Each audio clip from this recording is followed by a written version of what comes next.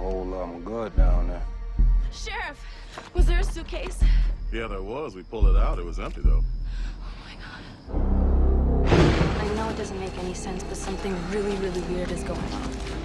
What was in that suitcase, Cece? Murderers, sadists, the evil of countless souls was inside that suitcase.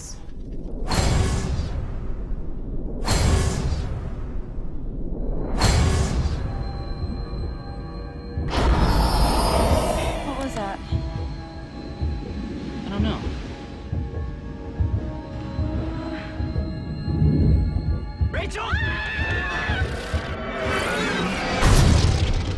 me that wasn't Ray Sawyer. The house is spelled. He can't come in. We're safe here.